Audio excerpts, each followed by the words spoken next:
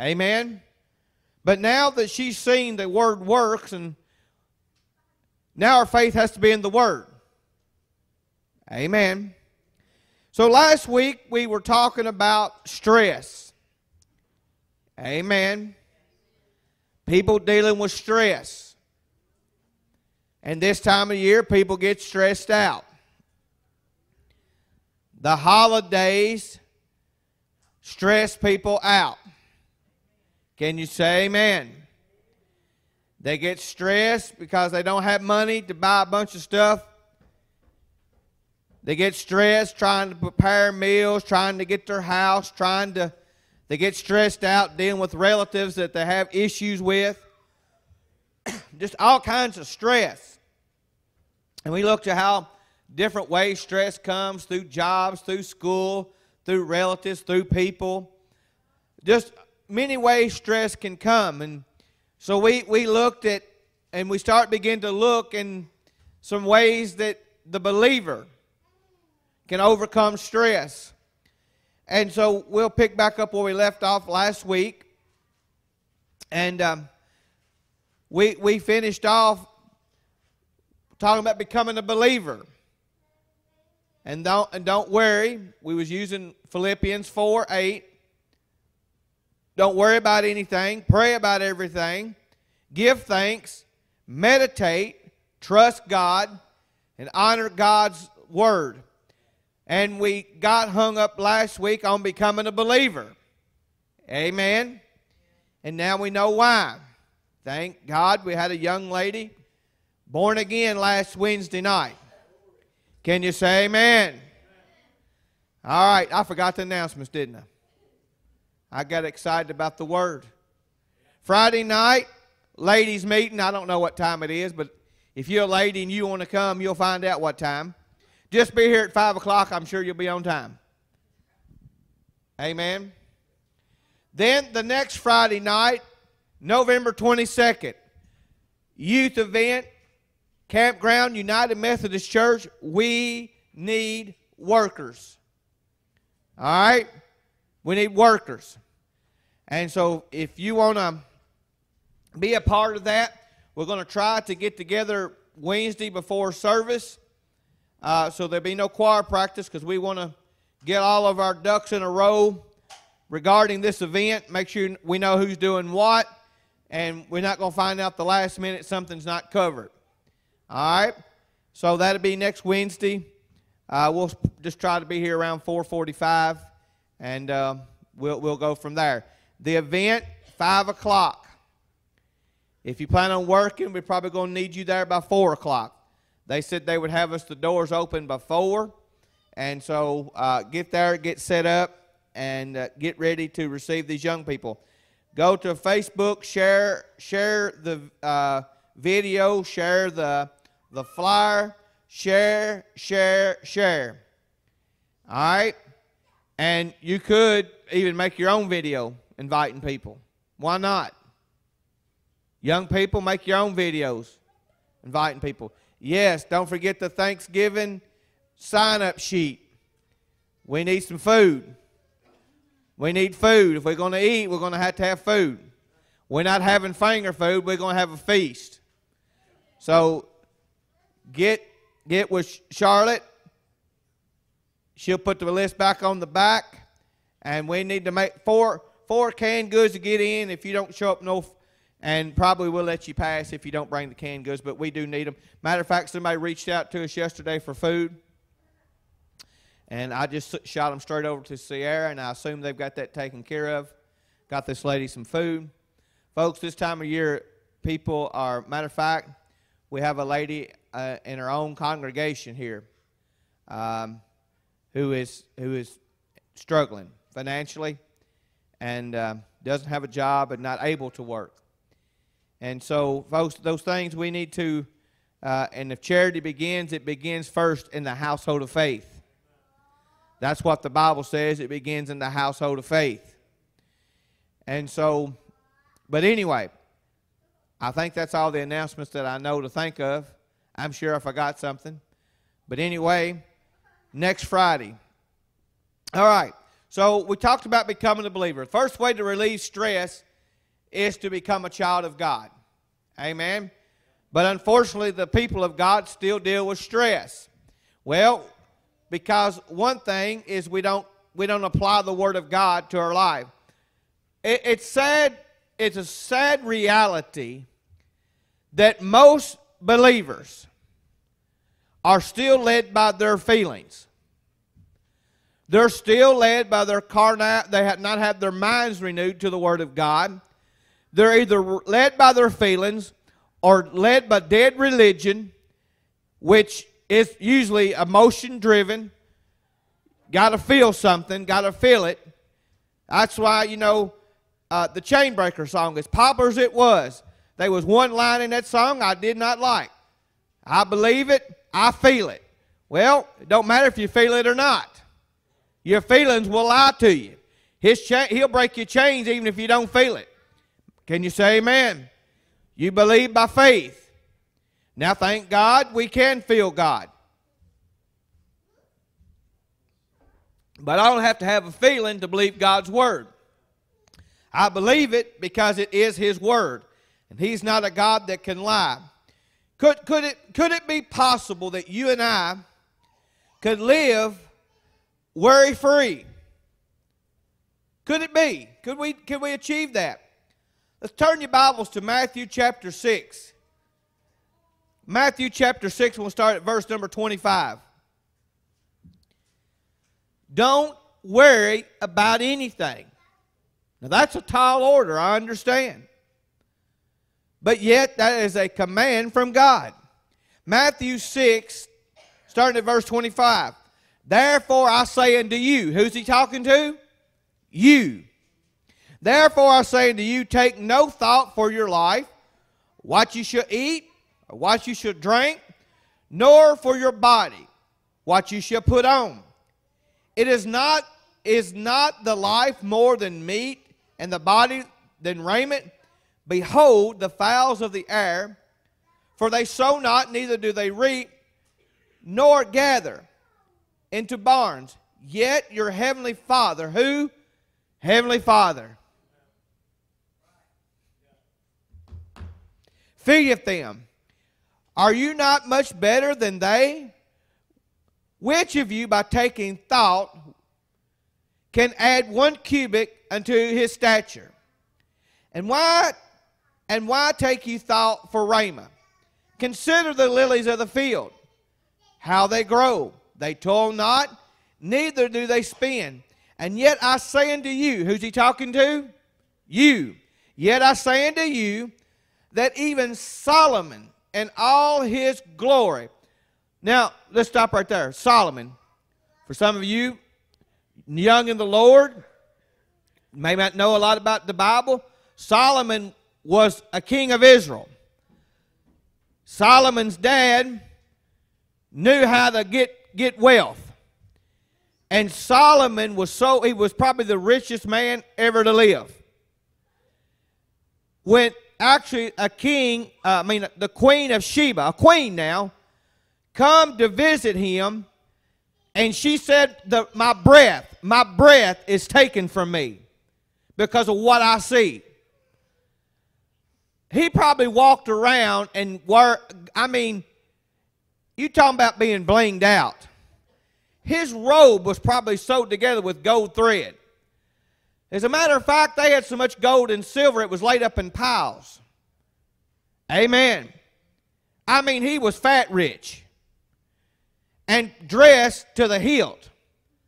She was even amazed to how well his servants were decked out, how happy they were. She was amazed when she seen the apes and all the animals that this man had. And when people came to see him, they even give him more. I mean, everybody come to see him gave him something. Now let's go back to what Jesus said that even Solomon in all his glory was not arrayed like one of these. Wherefore, if God so clothed the grass of the field, which is today and tomorrow is cast into the oven, shall not he much more clothe you, O ye of little faith? Therefore, take no thought. Take what?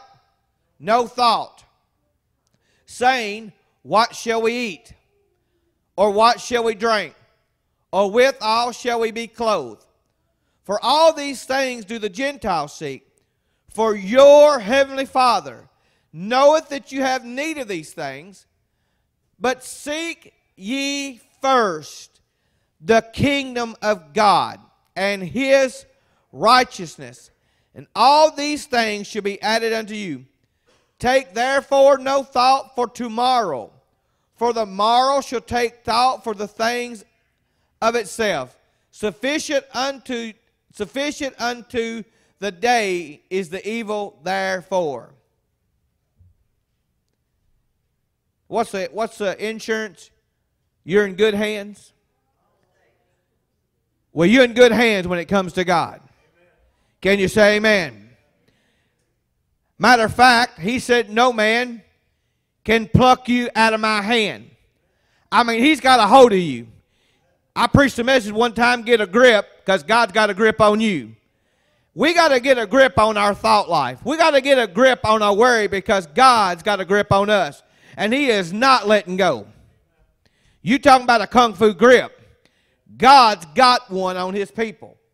And so we we we there's we get all this worry and tension and we got to learn to try to do one thing at a time do one thing for you that were here last week just briefly set set yourself a goal get get a, get spend time with god let god give you a vision you set the vision and you and you plan out how you're going to get there you stick to the plan amen don't try to deal with more than you can handle. Now, that's a tough one for me.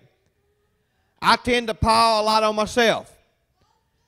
I'm a, I'm a doer by nature, and but we, we have to learn we have to learn to say no. We my my grandfather always used to ask me, if you got all the feathers that you can pack, can you pack one more? If you got all you can pack, you can't pack one more, even if it is a feather. When you got all the feathers you can pack, you can't pack one more. You have to know your limit. And when you know your limit and you go beyond your limit, stress begins to set up. Can you say amen? Now, people get preoccupied and they try to give more of themselves than they can. Another way not to worry is to enjoy what you do. In Colossians 3 and 23, it says, And whatsoever you do, do it heartily as you're doing it to the Lord and not unto men. That's why every year I ask our, our, our leaders, our, especially our Sunday school teachers, because when it becomes a duty, it's time to step back. You must enjoy teaching the Word of God, or any ministry for that matter. When it becomes a chore or a duty or a burden, it's time to step back. It's time to reevaluate. Now, yes, that, make no mistake, any ministry will be burdensome at times because you physically get tired. Your flesh wants to do other things than to study than to pray. But we're not talking about that side. When it's just a constant dread or a burden, it's time to step back. But the way to flip that script is you're doing it unto God. Can you say amen? There's times I've been here. I, I, I think I told this story before. I, if I hadn't, I'm going to tell it. Used to, brother, Brother Yates, if you was a lay minister in this church, you had to clean the church. That was part of your responsibility. And no disrespect, ladies, but I've cleaned up some of the worst messes after ladies' meetings I've ever seen. It's the truth. And I was here one Sunday evening after a women's meeting on the Friday night, and I, I just I thought, how could anybody be so disrespectful? And I was cleaning up, and I got so mad I threw the garbage can across the kitchen. and I had to repent. I said, God, I ain't cleaning this church for Brother Yates. I ain't cleaning this church for the people that go here. I'm cleaning it for you. See, I had to, I had to realign. Amen. Straighten your halos up. See, I let I let I got overwhelmed. And I, I let what somebody else could have done, well, it wasn't their job per se. Amen. It was assigned to me to do it. Well, I wasn't doing it unto God. But it, it, whatever you're doing, you do it unto God, and I guarantee you, you'll find pleasure in it. You'll find joy in it. Amen. Now listen, I understand it ain't no joy to clean the bathroom. But if you do it unto God, you'll find joy in it. Amen. Whatever you do unto God, even your job that puts money in your pocket. The Bible says you do it as you're doing it unto Him. And I tell you this when you're doing, if you're doing your job unto Him, you'll be on time. You'll do your best while you're there. Amen. You'll give 100%. You won't worry what somebody else is doing, and you won't worry about what someone else is doing because you're doing it unto God. And I know the Bible says that the employees, employer should treat their employees. Well, many times that don't happen. But that doesn't change the fact that we're to do it as we're doing unto God. Can you say amen? And that will that will relieve stress from you. When you find when you're doing whatever you're doing. Okay? Let's go back to the, the holidays. Ladies, y'all cook and cook and cook and people come in and they rip through the kitchen and eat in about 15 minutes. After 15 hours of work, it's all over. Now you got all this mess, you got all this food, no place to put it. It's stress, right? Somebody say amen to me. You know I'm telling you the truth. You do it unto God. Amen. It'll relieve your stress. Don't let your relatives put more on you. You can tell them, no, we're not having it at my house if you don't want it at your house. It's all right to say no. Now we're going to have it at your house.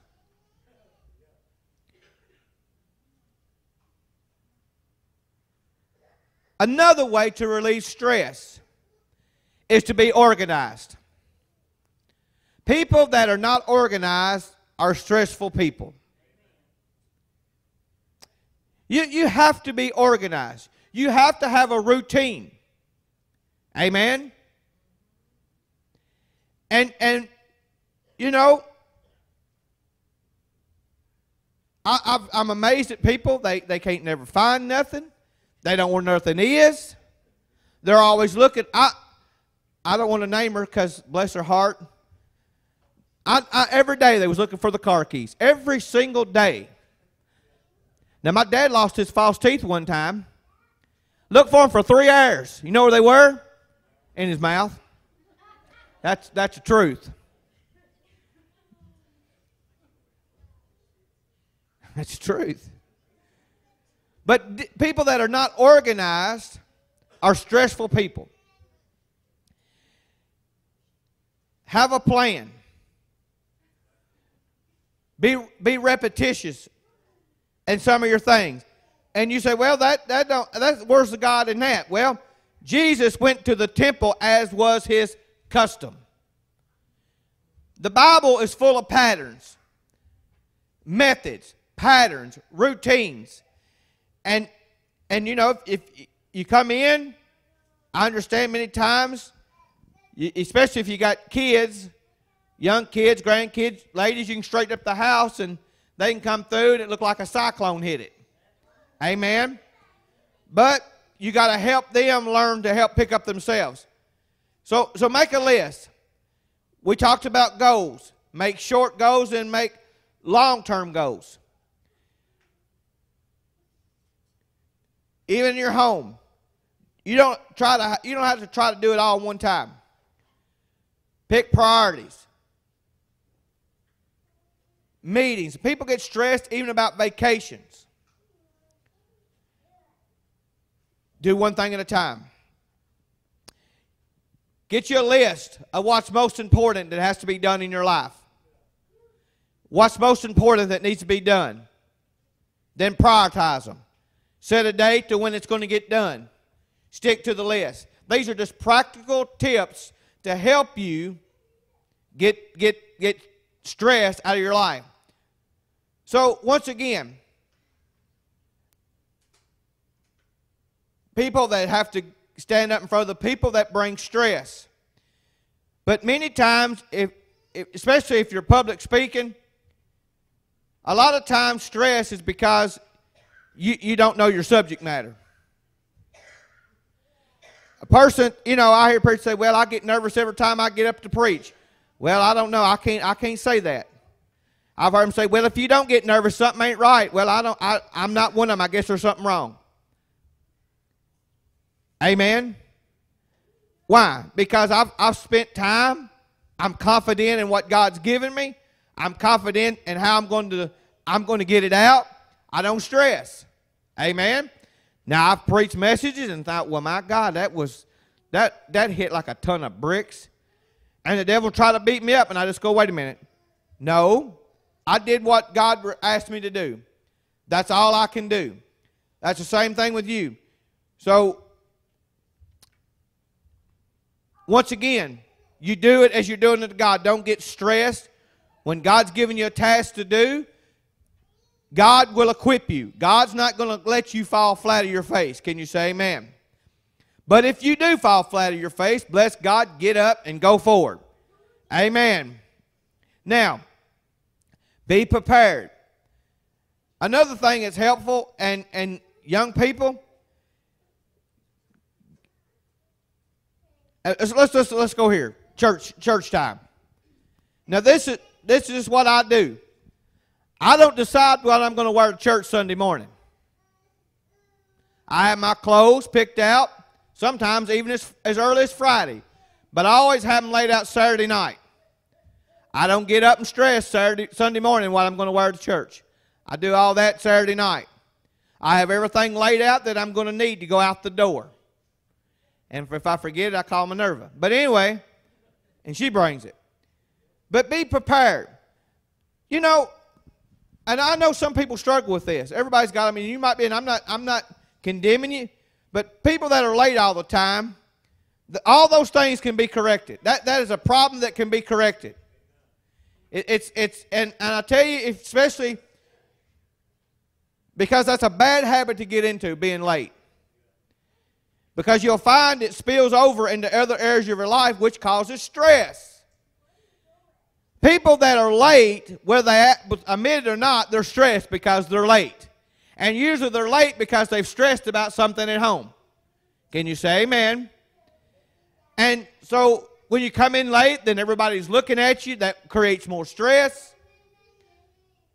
If you're always 10 minutes late, that's a simple fix of that. Leave 10 minutes earlier. I mean, how hard is that to figure out? Be prepared. I have, I like I say, my Sunday morning routine is the same every Sunday, with exception of something maybe if I'm going to go buy stuff for communion or something like that. Why? Because if I if you try to do something extra, it brings stress. When you bring stress in the house of God, it's, it's very noticeable. Especially when you're standing here at the advantage I'm looking at when I'm looking at your mug. I can see the stress on your face. I can see when you've been fighting with your spouse. I can see when you've been fighting with your kids. I can see when you've been fighting with your spouse and your kids. Amen. I can see it on your faces when you're stressed. All right? So be prepared. And tension builds when you're hurried. When you get in a rush because you're late, it builds tension.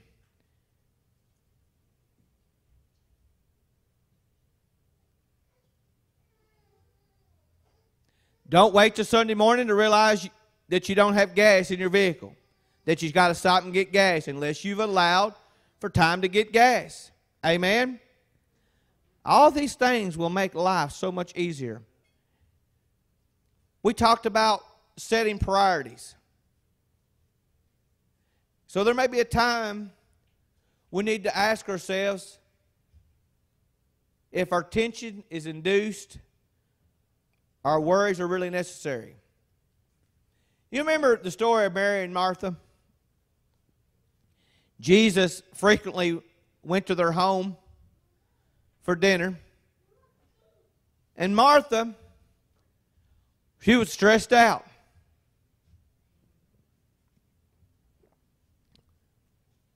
She was stressed out. She was trying to prepare this meal. A very notable thing, very honorable thing. But she looked at what Mary was doing and it stressed her out because Mary should be helping me. She got time to do that later. But maybe Mary heard what Jesus said in Matthew 6 seek him first. Seek him first. Martha, Martha, Jesus said, thou art careful and troubled about many things. Jesus saying it just ain't the supper's got you in a tizzy. Martha, there's many things you're troubled about. And now you are releasing them. But one thing is needful. Mary, you're saying many things are needful and you're troubled about many things, but one thing is needful. And Mary has chosen that good part which shall not be taken away from her.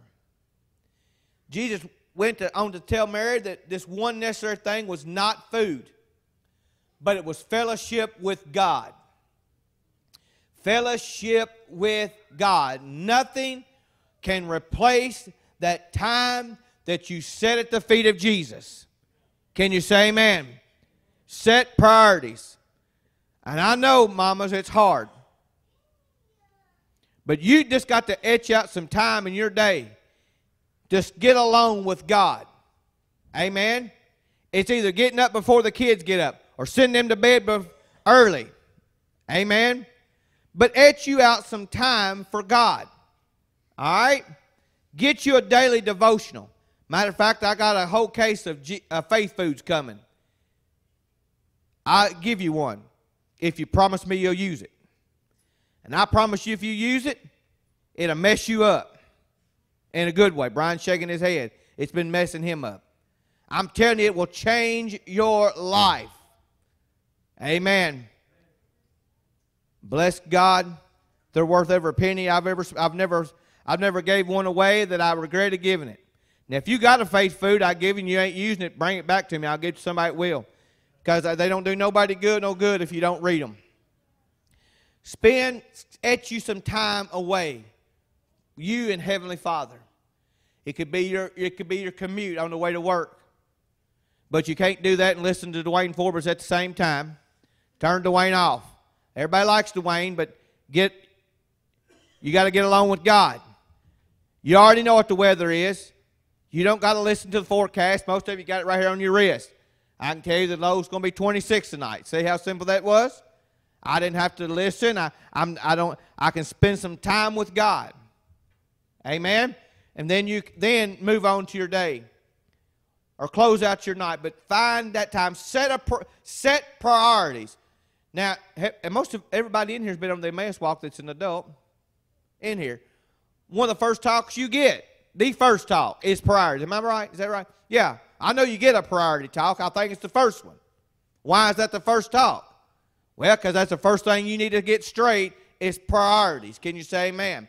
And that first priority is spending time with God. It supersedes everything else. Everything is pushed aside. Now, God, or I'm sorry, the enemy will even let you think you're doing something in ministry which looks very good. And it may be good, it may be helping people, just so you don't spend time with God. He can get you, the enemy will get you so busy that you don't spend time with Him. Once again, Know your pressure. Know how much you can take. I couldn't put my, I can't give my backpack full of everything that's on, in it right now and put it on a three year old's back and expect him to pack it. I can't do it. Everybody's, everybody's level of burden or what they can do is based on them. Many times it is based on physical limitations. Burdens come to all of us, but you got to find ways to ease that load. Amen. Delegate to others some responsibilities. One of the things that Brother Gillum, which most of y'all don't may not know who Brother Gillum is, but that's irrelevant. One of the things that Brother Gillum taught, and I don't know, I wasn't I wasn't under him the whole time he was here, but all the time that I ever sat under him, his main message was that you are not the significant doer of all things. Learn to delegate. You, you don't have to try to do it all. Once again, that's a hard one for me. I'm guilty of this one. But I am learning. And I tell you, it feels pretty good. Just like I told you when that lady called about food, I shot her straight to Sierra. I was done with it. Amen. And it lets other people be involved in the ministry but also in your home. You got to understand you cannot do it all. It's all right to delegate. Mamas, parents, it's okay to let your kids do something. It will not hurt them. Sorry, kids, but it's not going to hurt them to get up and do something. Sorry, Jake. It won't hurt them. It's good for them, right? I start over here all kids. It's good to do things. Teach you responsibility, and it relieves stress off your parents. Amen? But you're younger.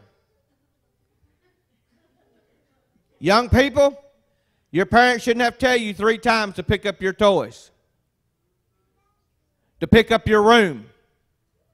What are you grinning about, Taryn?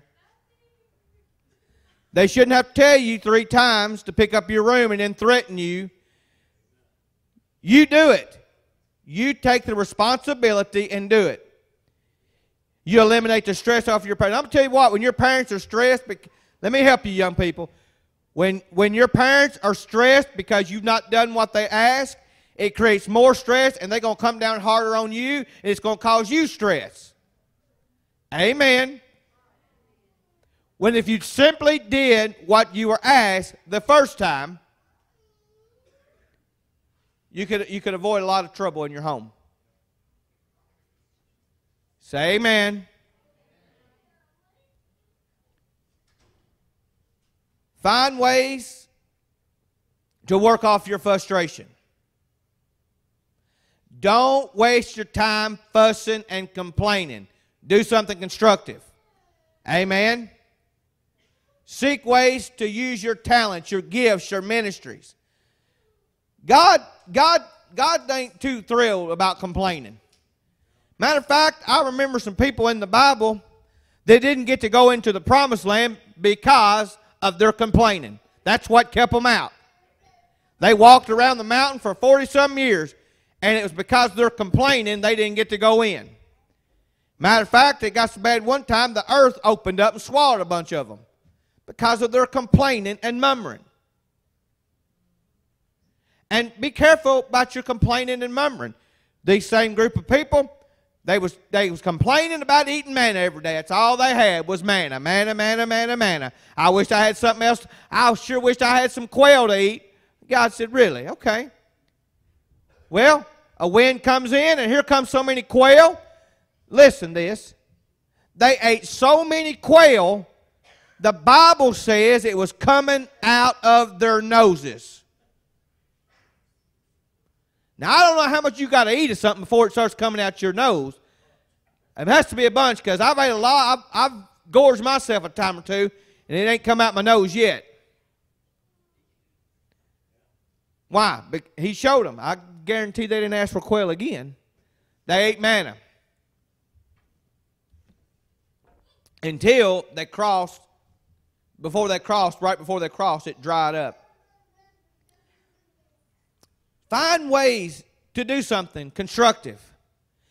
The best way to find something to do is to be involved in the ministry. Everybody can do something in the ministry, from the least to the greatest, from the youngest to the oldest. There is a place for you in ministry. Today, I told our young people they have no excuse, no excuse not to minister the gospel. They have no excuse. Because as long as you don't flow and walk in the God given gifts and talents, you will be stressed and you'll find other things to do which create burdens and stress. God never intended for our life to be a burden. Life, it should be a joy. I'm going to say that again. Life should be a joy. Life should never be a burden. Listen, what's, what's people? Listen to this. You ever heard somebody down in the dumps in the mully grubs? Well, I just I just feel like I'm a burden to everybody else. I'm just a burden to everybody. Bible says we're to bear one another's burden. So if you're a burden, we'll bear you. Life, God meant for life to be enjoyable. God's people should be the most joyful people on planet Earth. But we, we don't stand out from the crowd. We look just like the world. We're stressed, we're mad, we're frustrated, just like the world. So then we need to evaluate our attitudes. Amen. When you're worried, tainted, that leads to depression, self pity, self centeredness, and bloom, despair, and agony on me attitude gets our back into a corner. We fall into depression of woe is me, nothing is working out. It, for me, my whole world is crashing in on me. What am I going to do now? And as we're right, wringing our hands and pacing the floor, we wait for the worst. And then when you wait for it, it usually comes. Because usually you've probably spoken it. Our attitude is an open invitation to the enemy of our souls to make havoc in our lives. Your attitude. Your attitude. The Bible said it's better to dwell in the corner of a rooftop than it is in wide open house with a contentious woman. Woman, your attitude matters. Man says don't be don't make friends with a brutish man. An ignorant man. Your attitude. Attitude of laziness. Always making excuses to why. Well, there's a line in the street. The, that talks about the when he walks by the wall and the and the vines and the weeds have took the wall because of their laziness. Little little little sleep, a little slumber to sleep. Our attitudes create atmosphere. Man, when you walk in, or wife, when you walk in at the end of the day, mad, frustrated, after a heart, and listen, I understand it. If you're like that when you get home, sit in the car till you get till you get over it. Don't take that mess in the house. Somebody say amen to me. Don't take that mess in the house. If you got to drive around till you get over it, do whatever. Come to the church. We'll give you the code so you can get in, come and pray. Do something. But your attitude creates atmosphere. And your attitude, when it's bad, creates stress. How many ever people say, well, I've heard too many women say this. We just, we just, I grew up in a home where we had to, we just walked on eggshells. I grew up in one of them. You talking about stress. Your attitude creates stress. Unless you have the right attitude. And the right attitude for the believer is joy. Because our God is a God of joy. Well, how does that come? Why is joy so important? Well, in his presence, according to Psalm 16 11, in his presence is the fullness of joy. When you don't have joy, it's because you've not been in His presence. Point, point blank. Thessalonians tells us to rejoice evermore. Jesus said, I've wrote these things unto you that your joy might be full. You and I can enjoy the good things of life. We don't got to be anxious and stressed. And when we do, when those moments of stress come, the Bible says in 1 Peter 5 and 7 that we're to cast all our cares on Him, for He cares for us. Do you think? Well, there's nothing good in my life. Well, you might have some things going on. For whatever reason. What's that old song? Count my blessings one by one. Have you ever just stopped and think about how blessed you are? Even when you might be going through some things. And we all are, but bless God. Another thing that can cause stress is procrastination, putting stuff off.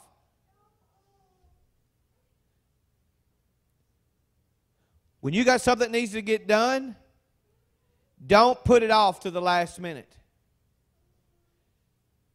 Set a goal and a plan to get it done.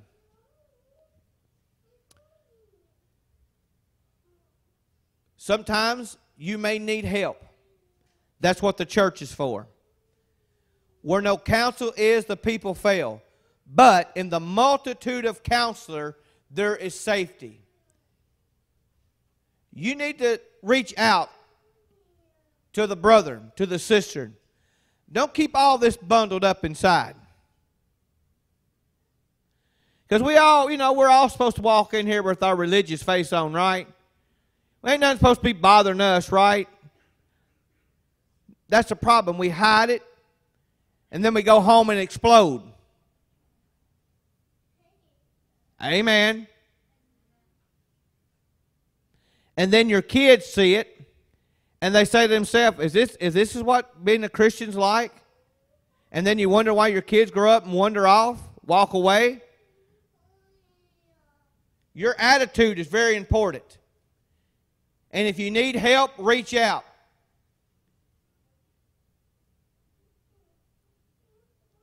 There's certain things you and I can't change. But there's one thing we can always change, and that's us. You can change your attitude if it's poor. I can't change what somebody else does, but I can change what I do. Can you say amen?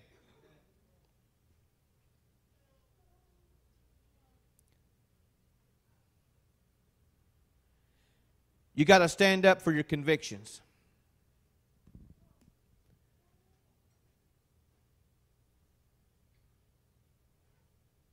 Don't ever compromise to fit in. And then we pray about everything. Prayer is, is, is man's way to communicate with God. And it is an effective way to relieve tension. Building up your most holy faith, praying in the Holy Ghost. If you don't have the baptism of the Holy Ghost, You need the baptism of the Holy Ghost. That's, that's all I'm going to say. Psalm David said, every, evening and morning and at noon I will pray. And cry aloud, and he shall hear my voice. Cast thy burden upon the Lord, and he shall sustain thee. He shall never suffer the righteous to be moved. And then we're told in 1 Thessalonians to pray without ceasing. How can we go about our daily lives without praying? Many of you are. Let me ask you this how's it going for you? How's it going for you when you don't spend time in prayer? Prayer is not where we're going to persuade God to do things our way, but it's opening ourselves up to allow Him to do what is best through us and for us. He knows the beginning from the end. We just need to get on board with Him to let Him guide our steps And then we give thanks.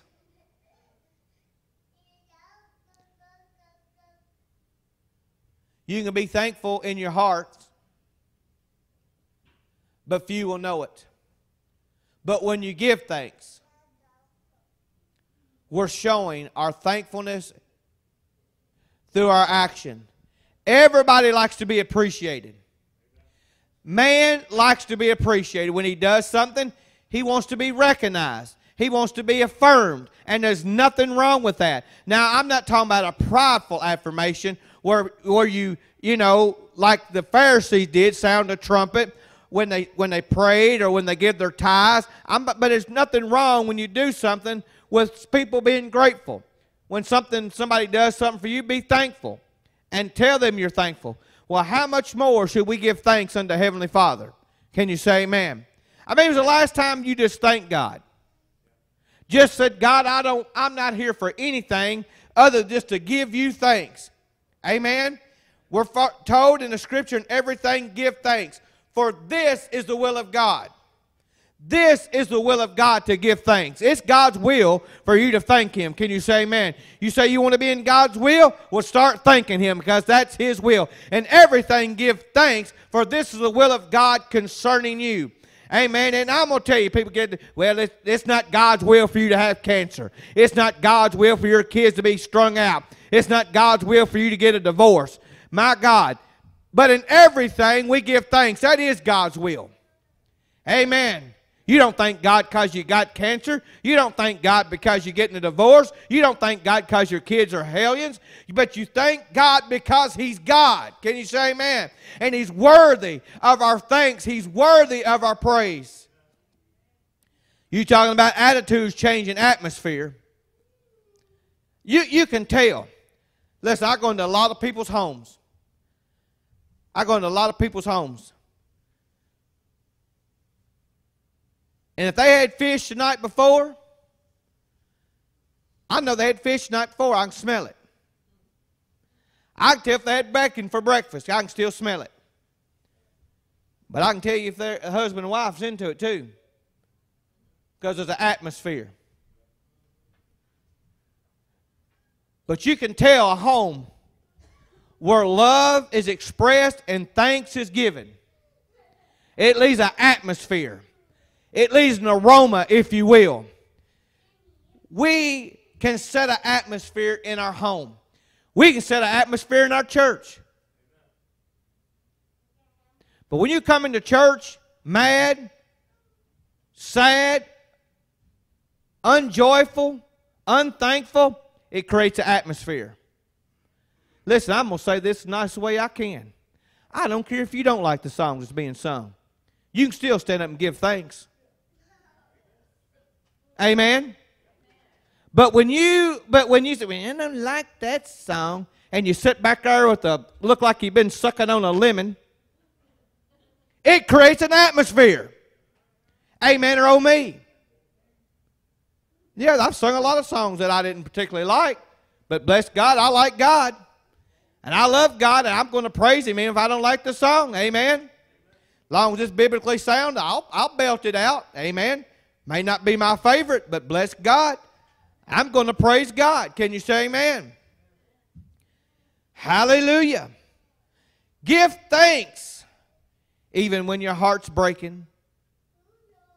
Give thanks when your health ain't what, it what you want it to be. Give thanks when your bank account is struggling. Just keep giving thanks.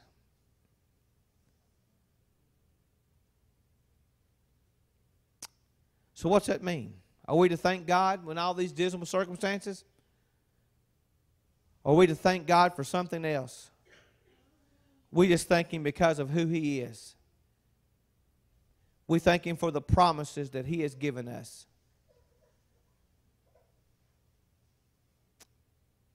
God doesn't want His children to suffer any more than you want your children to suffer. But David said, I will enter his gates with thanksgiving in my heart. I will enter his courts with praise. He said, I'll enter his gates with thanksgiving. you ought to be thinking, God coming across this parking lot. I will enter his courts with praise.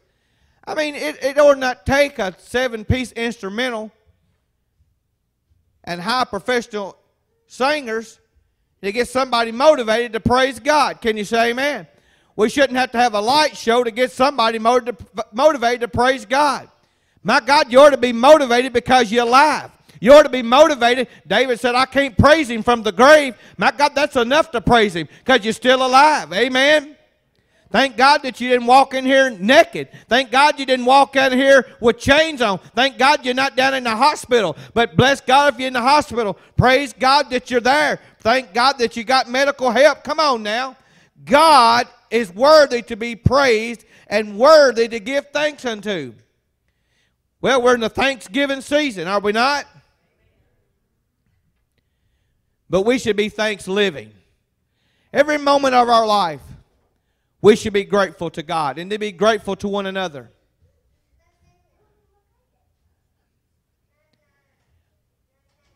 I'm thankful for everything that somebody ever does for me.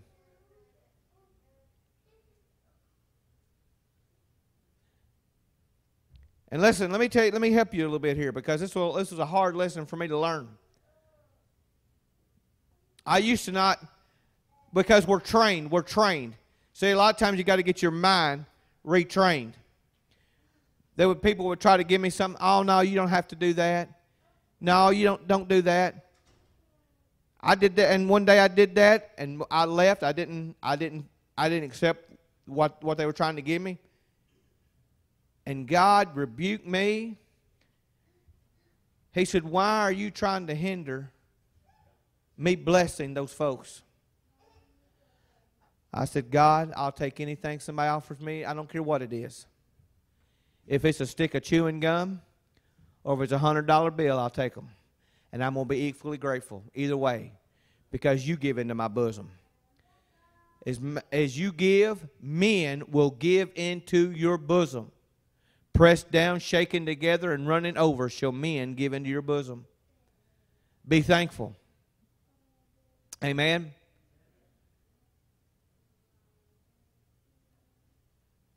Let's stand. And if you be thankful, I promise you it'll relieve your stress.